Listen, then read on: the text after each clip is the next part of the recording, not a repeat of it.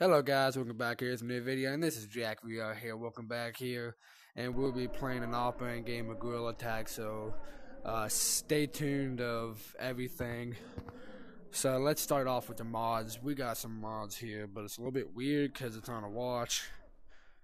Let's start off with the mods, we got Super Monkey, which you can just fly around, it's very fun.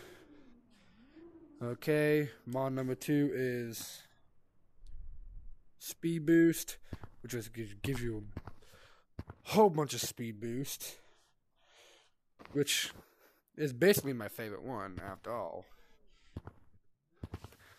Which you can go super high. See, I just flew all the way across the map.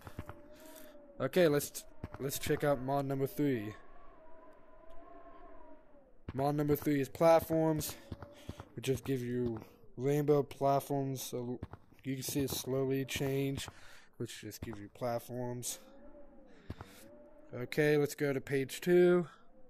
No clip, which I might want to keep platforms on for this one.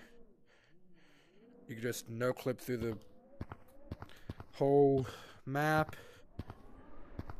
Okay, let's disable that non-tag freeze, which you can't get frozen. When you lava monkey long arms, which just gives you super long arms, which you can move them around big time. Okay. Page three. RGB colors. I haven't figured out that one. Third person camera, which is just third person camera, which everyone loves. The plain third person camera which I love too. It kind of gives me a little headache on the video and stuff, but I mostly use third person camera most of the times. Okay, camera mod. It just gives you a camera mod. I don't know. Sable. Page 4 is the last page. So we got Iron Monkey, which you can just fly. Whoa which you can just fly around the map and stuff. Oh. Okay, and we got Moza settings, which, if no one knows what Moza is, it's she's kind of fast, which I have no other mob besides Moza on, which you can kind of move a little fast.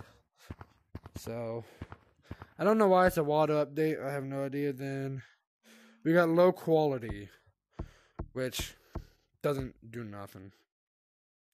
But if you like this video, give subscribe, comment down below what should I do next, and make sure to hit that like button. Comment down below what video I should do next for my next video, and we'll see you guys next uh, video.